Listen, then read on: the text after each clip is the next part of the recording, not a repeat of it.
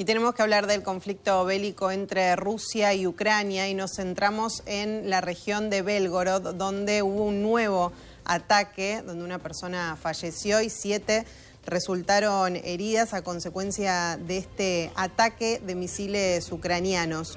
Nuestra defensa antiaérea derribó varios objetivos aéreos que se dirigían a la ciudad sobre Belgorod y la región por desgracia, a consecuencia del impacto directo de un proyectil contra un automóvil, murió un hombre, es lo que escribieron a través de la cuenta de Telegram. Tras expresar sus condolencias a familiares y allegados de la víctima, también añadieron que preliminarmente hay siete civiles heridos.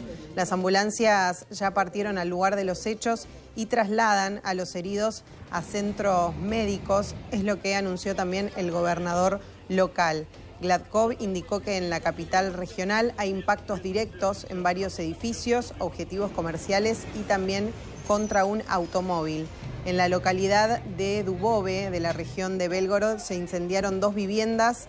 Los bomberos también partieron hacia allá y ya apagan los incendios, es lo que indicó tras señalar que se dirige al lugar de los hechos y prometer información más detallada acerca de este nuevo ataque.